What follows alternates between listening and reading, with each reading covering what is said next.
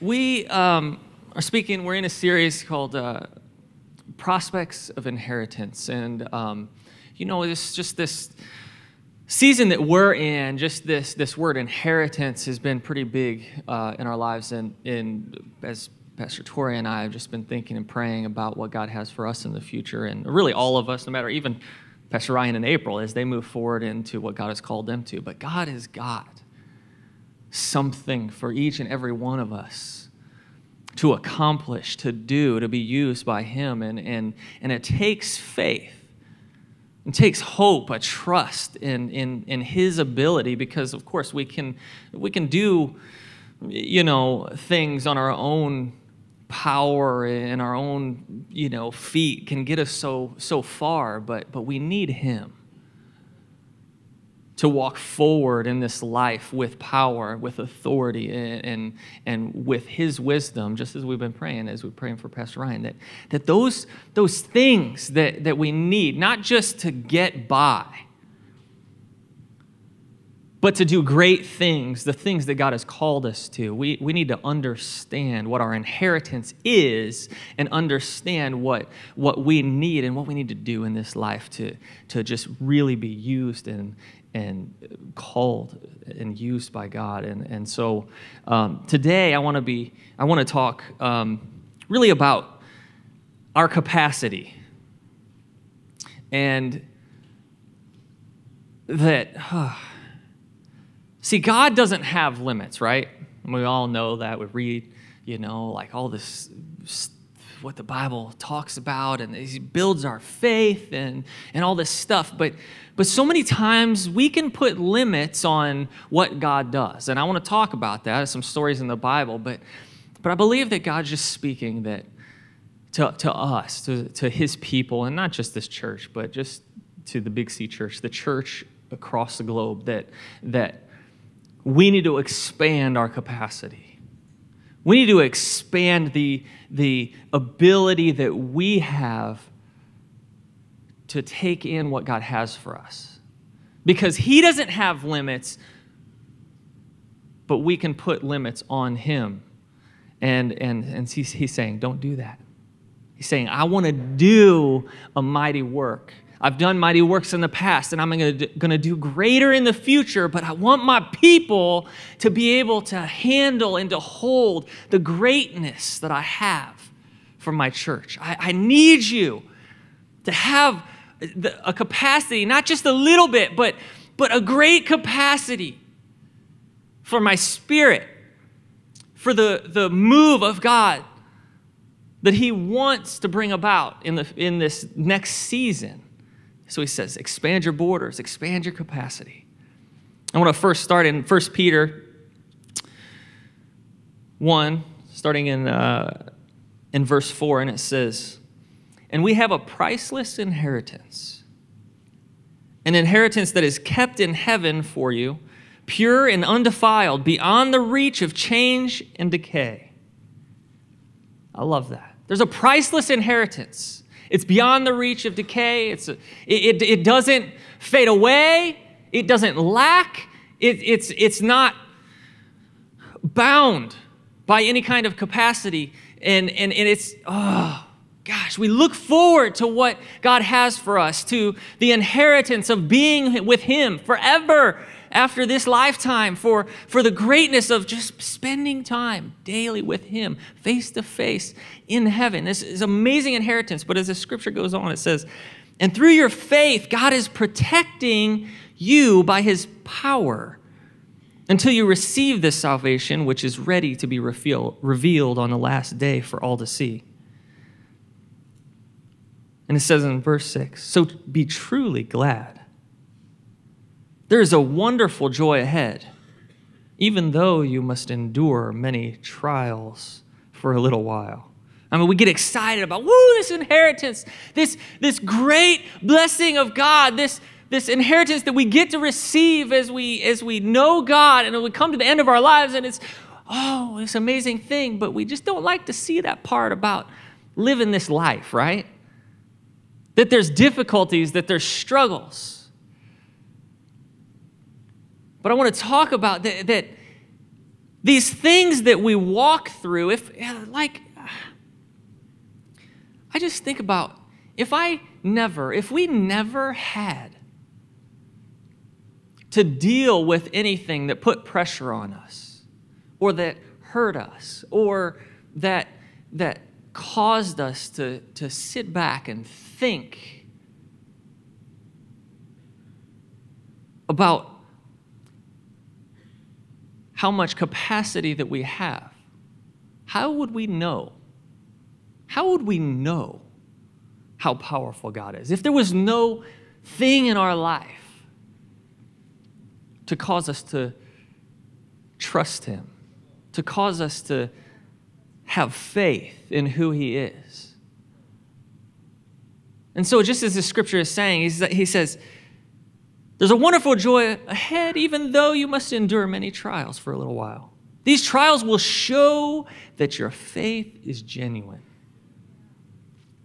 It is being tested as fire tests and purifies gold.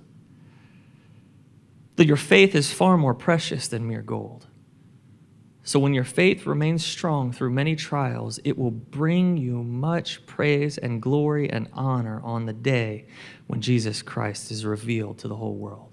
He says, this, these trials that you go through, it's kind of like gold when it's being you know, brought through the fire. You know, when they, anybody ever watch those shows like I do, you know, the ones that are a little bit boring but so intriguing, you know, you just watch the gold melted down, turn to this molten lava gold thing, but then you see the, the slag, I guess is what they call it, this, the dirt, the impurities rise to the top. That, that this gold has to go through a process in order to be purified in order to become what it's meant to be without the impurities be, being in it still.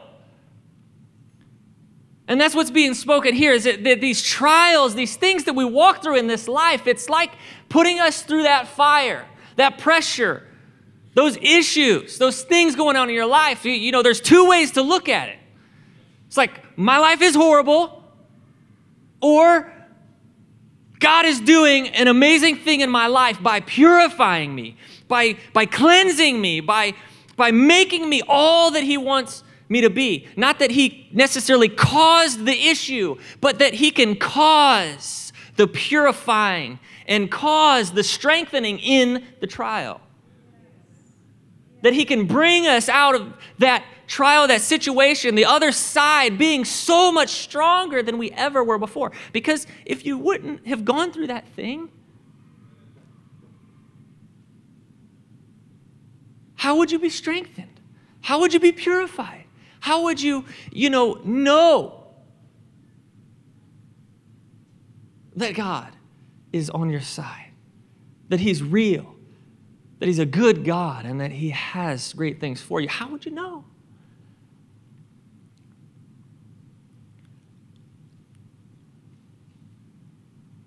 So I think of uh, in Hebrews 11 1, it says, most of us probably know this by heart, by faith is the substance of things hoped for and the evidence of things not seen. Now I think about this scripture and I think, you know, and my dad actually, you know, preached about this a, lot, a long time ago. I don't know how long ago.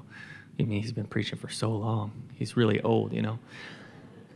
He's not here. I can talk about him as much as I want. But he's, he's, he said this statement that, that hope is the capacity for our faith, or the, the container is what he said, for our faith. That this hope, what does the hope mean? Now, nowadays, hope means something kind of different than it did before, but the archaic definition is to trust, to believe that something's going to happen. So, hope is the trust and believing that God is going to move in our lives, right? So our faith is based on our trust and our belief that God is going to move. It's the container that our faith goes into. And so my question is is how big is our container? How much capacity do we have for our faith? How much do we trust God? because he does not have limits. The only limits are what we put on him. So we, if we think about some situation or a thing going on in our lives and, and, and these trials and, and this pressure or this sickness or these different things that, that I, I think about, God, you, you have no limits, you, you have no lack of ability or no lack of strength or anything. There's no lack in you, God. But the only thing is if I can handle what you got for me. If we can handle the things that he's wanting to give to us or wanting to do in our lives. And, and I think about that, and there's many stories in the Bible. We'll talk about a few of them. But I think about in Second Kings, the woman that, that her husband died and, and she's running out of money. She had no money. Her husband left her in debt. And so she comes to the point where she cries out to the prophet. In 2 Kings 4 4, it says, A certain woman of the wives of the sons of the prophets cried out to Elisha. Now, first of all, the sons of the prophets were these guys that were like, hey, they weren't necessarily actual sons. They were, they were people that followed the prophets and said, hey, we want to study under you. We want to follow God's call on your life and, and learn and glean from what's, what's going on, that, what God is doing in you. So this guy, he, he knew God. He, he was searching after God's heart and, and, and following the prophets. And, but there was an issue that in that day there was so much struggle and Jezebel was killing the prophets and, and she, was, she was just putting the pressure on, right? The whole, the whole region, the, the, the world was in turmoil and there was a struggle in that moment. And so he dies. And his wife and two sons are left with, with nearly nothing. So she cries out to Elisha, saying, Your servant, my husband, is dead. And you know that your servant feared the Lord and the creditor is coming to take my two sons to be his slaves. So Elisha said to her, What shall I do for you? Now, I, I as I read this, I, I, I think about why, why did he say, what, what shall I do for you? And I don't, I don't think that he was like, What do you want me to do, lady? Like, what are you, what are you thinking coming up and asking me? I don't think he was thinking that. I think he was, he was kind of testing her question or her coming to him saying, What do you want me to do? Are you just wanting me to throw money at you? Or just, are you coming to me or are you coming to God? Are you just looking for a handout or are you looking for God to move in your life? And he doesn't really give time, at least in the, in the scripture, the way that it said, to answer. And I believe God just spoke to him and said, She's coming to me. So he said, Tell me what you have in the house. What do you have? Look, I, I love this. So, so many times we, we come to these situations in our life, it's a struggle, it's a trial, there's things happening, and we're like, somebody else has to have something to help help me you know somebody give me something or you know i'm sure somebody else has more than i do and i'm just going to go ask them and but that's the thing god was like no what do you have? And so many stories in the Bible, right? The same thing happens. I mean, you look at Moses and, and, and God's like, What you got in your hand? I just got a stick. I've got a rod. God says, Go ahead and use it. Throw it down. I'll turn it into a snake. Hit the rock. I'll bring water. Do whatever. But what do you have in your hand?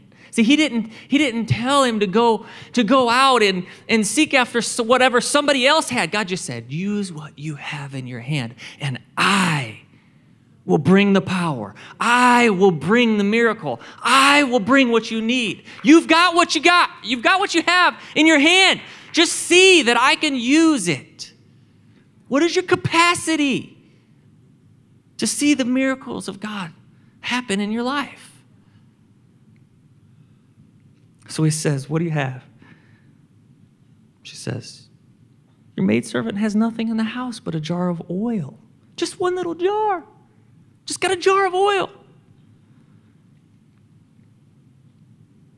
And I see it in that moment, like,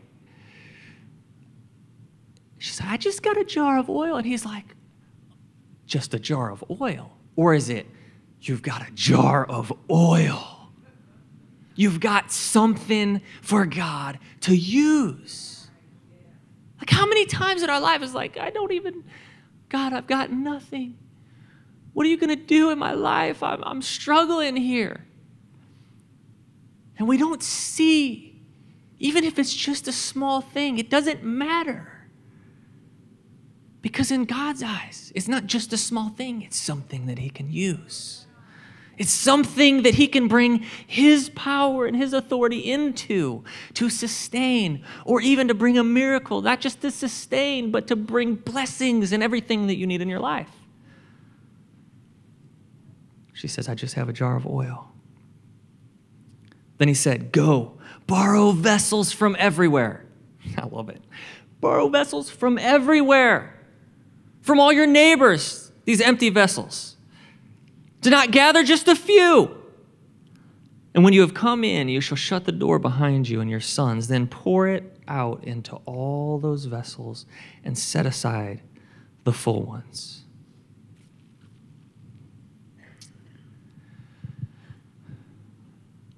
Go and collect all the vessels that you can. And he even stated, he's like, don't just collect a few, collect as many as you can. Don't just get four or five jars. Go. Go and collect vessels. Go and collect jars for God to use. And the interesting thing in this, in this story and in many stories in the Bible uh, that I see is that God moved according to the capacity of her faith or how much she trusted that God would move. Now, she went around, she collected a bunch of jars, right? She collected lots of things. This, I mean, they may have been bowls, jars, and, and water pots, and whatever else. She went around and collected them and brought them into her house and shut the door. And God filled those jars. But what if she had gotten more? What if she hadn't stopped getting those jars and got more and more and more and more? Then how much more blessing could God have given to her? Huh. We need to have a faith like this. I mean, this woman had faith and she went and got, look, she even, she got jars. She didn't even question whenever he said, Go get jars, like you've got a jar of oil, go get more jars that are empty. And I, will admit, I could have sat there and thought, okay, but I've just got a little bit of oil.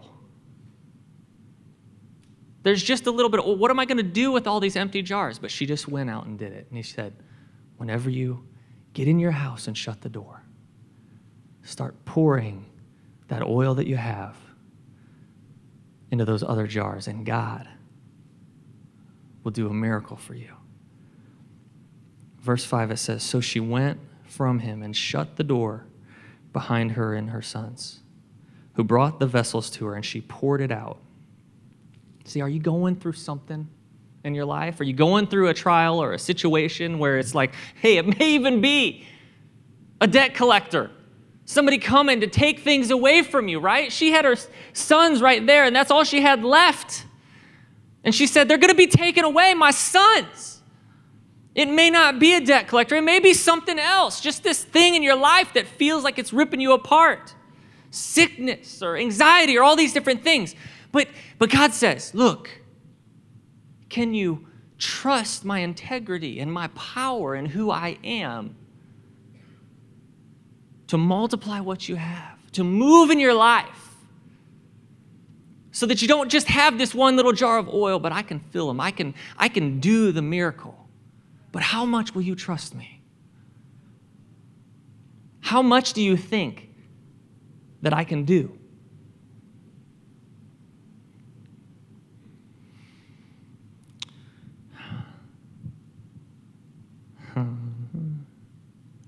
In James 1 22. It says, But be doers of the word, and not just hearers only, deceiving yourselves. For if anyone is a hearer of the word and not a doer, he is like a man observing his natural face in a mirror. For he observes himself, goes away, and immediately forgets what kind of man he was. I don't want us to forget what kind of men and women we are. You know what I'm saying?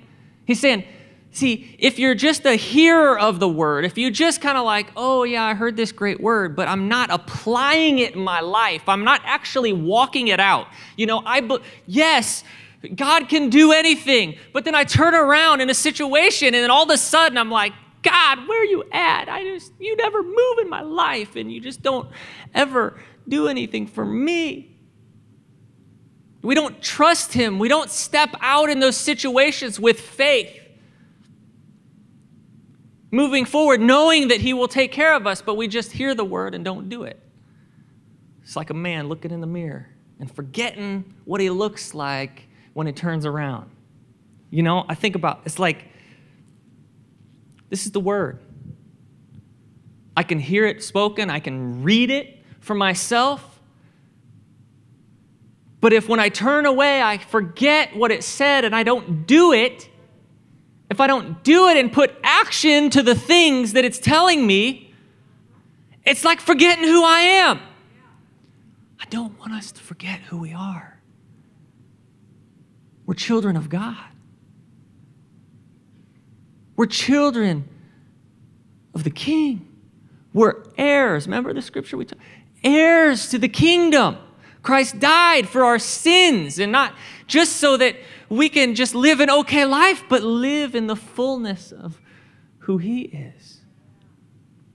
So if I take and I look at this scripture and I'm like, oh, it tells me that God is for me. He's not against me. Te- it tells me that I am strong in Him and that His Spirit is in me, ready to move in my life. And I turn around and I'm like, I, what? I can't remember.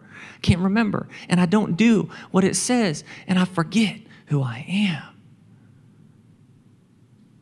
I forget that I'm a child of God. I forget that I'm strong and that I'm a conqueror, that I can do all things through Christ who strengthens me. He says, Don't be like that man who looks in the mirror and forgets what he looks like when he turns around. When you turn around, be a doer, take action, have faith, trust in the integrity of who God is. What is your capacity? Because God has no limits.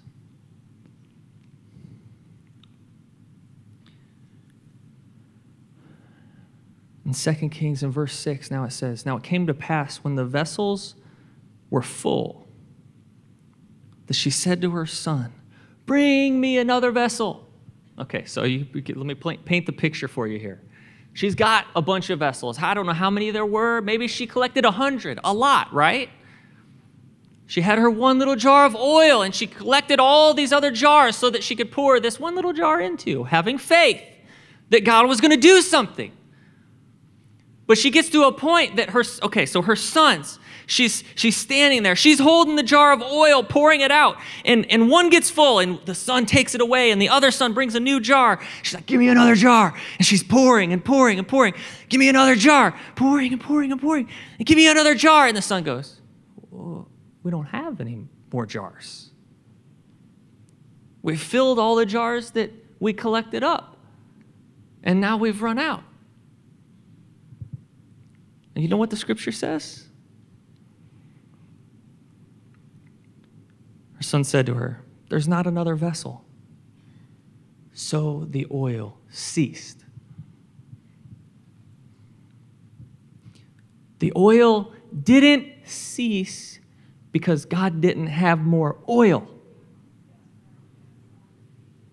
The oil didn't cease because God could only do a partial miracle or because God didn't have enough. The oil ceased because she only had enough jars to fill that amount. I mean, think about that with me. If she would have gone out and not just said, you know, maybe she was scared. because the, the, the debt collector was coming to take her sons. So she hurried up and went to the houses around her, maybe, maybe, you know, a handful of her neighbors, and collected these 50, 100 jars or whatever. And she's like, but now we need to go home because the debt collector is going to come. But are we going to let fear hinder our capacity for the things of God?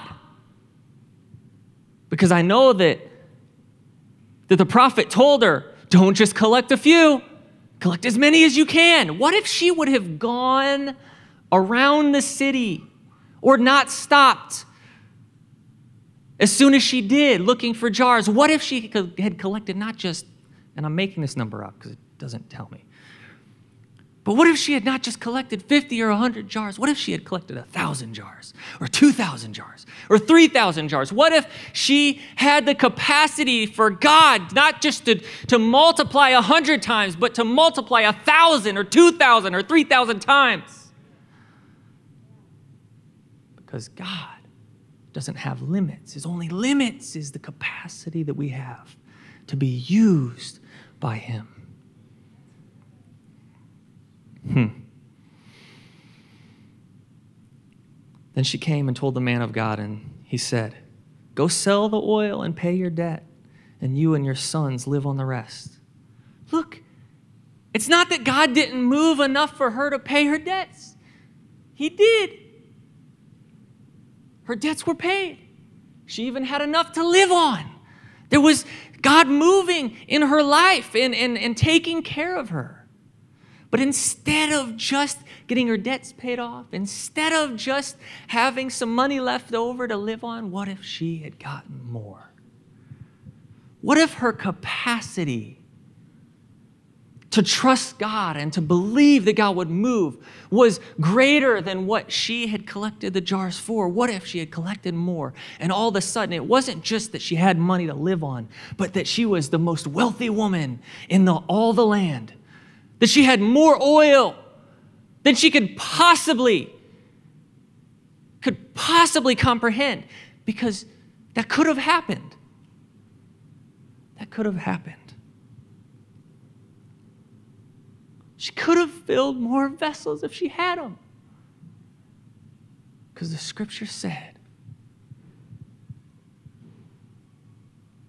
that when she ran out of jars the oil stopped it doesn't say that the oil stopped before the jars were filled. I, I look, I'm just telling you the scripture. Now think about, look, what, what about the times whenever Jesus was, was out there ministering to people and they get hungry, right? Everybody gets hungry. I'm hungry. I want lunch. But you're going to have to wait a little bit, okay? But what about those times when they're like, the people are hungry? And he said, Well, what do you have? Again, again, what do you have in your midst? What's, what do we have right here? Jesus, there's, there's a handful of bread and some fish. One time it was what, five loaves? Another time it was seven loaves. Thousands and thousands of people. Five loaves, seven loaves, some fish. So Jesus blessed them, he prayed for them, and, and, and I love that in those stories that he handed those things to the disciples, and, and the miracle of multiplication actually happened in their hands. What God used and multiplied was in their midst, and he used them to multiply it in their hands. And you know, in those stories, you go to the end and it says, and there were baskets full. There were baskets full. And I love this because I, you know, I don't know about you, but I think, what if they didn't stop breaking the bread? Yeah, we've got seven baskets, we have more than enough, but but what if they didn't stop? Because I believe that God would have kept moving and kept doing the miracle as long as they had the capacity to understand what God was doing. As, as as much faith as they had. What if what they're like, I mean, we've fed everybody here, but why don't we go ahead and feed everybody in this city? Or the country, why don't we just go ahead and keep tearing the bread and, and passing out the fish? And all of a sudden, we don't just have a couple of baskets left, or a hand, I mean, a lot of baskets left. But, but what if we go and just feed every single person with this miracle that God is doing? What if we have not just a limited capacity for God to move, but we allow Him to move freely, and our, and our capacity, our borders, our, our, our, uh, our hearts are, are stretched so much that it doesn't hinder what God is doing. Man, that's, that's what I want to see in our lives, in our day, that, that we don't see a, a, a thing of God happen and, and it stops. We don't see God move and, it, and he moves a little bit. I don't know about you, but I've, anybody else? No, you don't have to raise your hand. Seen that in your life where God, come, move, do this, this thing in our lives and bring this healing or this restoration or this thing. And, and God moves and he starts to work and, and then it, and then it's, you know, that was good, but God, it was, you know, it, it didn't come to completion. And you know what you think? God, why? Why didn't you do the rest? You know what I believe God says? Well, why didn't you have faith for me to bring the completion of it? Why, why didn't you have the capacity? Why didn't you prepare yourself for me to move in the fullness of what I wanted to? Because he doesn't have limits. The only limits are what we put on Him. See, so many times we hinder the move or, or the, the blessings of God because we have limited capacity to believe or to trust in what He's doing. And I love this, you know, when it says this woman, you know, that the, that the prophet tells her, go in and shut the door behind yourself and your sons. Why do you think that is? You know why I think it is? One of the reasons I think is that so she couldn't yell out to the other people, keep bringing me jars of oil because something's happening. God's moving and I need more jars. Hey, bring me some more. No, God says, I'm not going to allow you to wait till I'm moving, to wait to see if I'm going to do something in your life to have the faith for it to happen. You need to have the hope or the capacity, the trust that I'm going to do it to completion before it happens, before it starts. Before I start moving, do you have that trust, that faith that I'm going to complete it? Or do you just have faith that maybe I'll do a little something? He says, don't, don't get in the middle to have enough faith. Because when your jars run out, you're hindering me from moving. And that's when it stops, right? You know, Abraham, whenever, you know, he was, you know, talking to God about Sodom, and he's, he's like, well, what if there's this many people Will you keep from destroying it? God's like, uh, yeah. And then Abraham's like, well, maybe there's not that many people. So what if there's this many people, you know, just a few people? It's like, uh, okay. What if, what if Abraham hadn't stopped and said, God, what if there's just one person? One person that's righteous in this town. Will you keep from destroying the town? I believe maybe God would have said, Yeah, yeah, I probably would. But Abraham didn't go that far. He had a limited trust and faith, I believe, of, of God and what he would do. So he didn't go that far. I don't want us to only trust God to a certain point.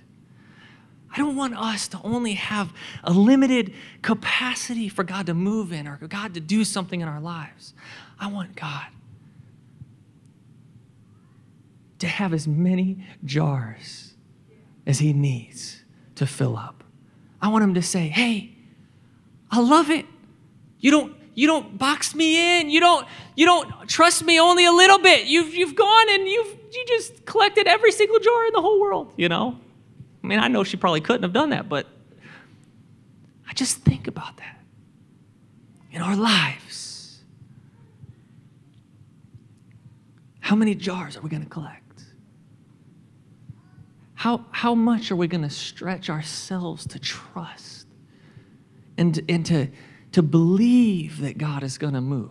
Because the only thing that is hindering Him moving in a greater way is our faith that He can do it. Amen? Why don't you stand with me?